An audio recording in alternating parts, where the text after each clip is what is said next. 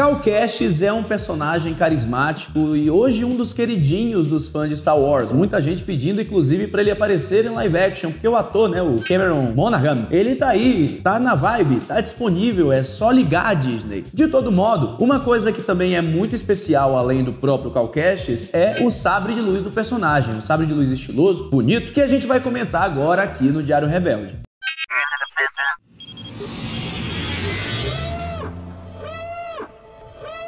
Todos os Wings reportem, sejam bem-vindos ao Diário Rebelde. Eu sou o João Jedi e no vídeo de hoje nós vamos continuar os conteúdos em preparação para Star Wars Jedi Survivor, o próximo jogo de Star Wars que será lançado no dia 17 de março para as principais plataformas da geração nova de games e também PC. O Padawan Cal Kestis teve mais de um sabre de luz durante a sua história. O seu primeiro sabre de luz foi construído ali na era do fim da República nos últimos anos durante as Guerras Clônicas. Sabre esse esse que era utilizado por ele em seus treinamentos com o mestre Jedi Jaro Tapal. Aliás, que nomezinho, hein? Foi demais. Foi durante esses treinamentos na órbita de Braca que rolou a ativação da Ordem 66. E Jaro Tapal e Cal Kestis precisaram fugir e tentar escapar com vida. Só que durante o tiroteio num elevador, Cal Kestis acaba derrubando o seu sabre de luz, ficando sem a sua arma importantíssima durante o momento mais tenso da história da Ordem Jedi, que foi justamente o momento da Ordem 66, que eu fiz um vídeo sobre a cronologia dos eventos dessa noite da Ordem 66, que você confere aqui em cima no card. Bom, aí Cal ficou, teoricamente, sem sabre de luz. Mas ali, durante a ativação da Ordem 66, Jaro Tapal, na tentativa de salvar o seu padawan, defende-se e o sabre de Jaro acaba sendo alvejado por tiros de Clone Troopers. Com isso, Jaro dá o seu sabre de luz, ou melhor, o que sobrou dele, para Cal Kestis e morre. Assim, Cal se exila no mundo de Braca. O sabre de luz de Jaro Tapal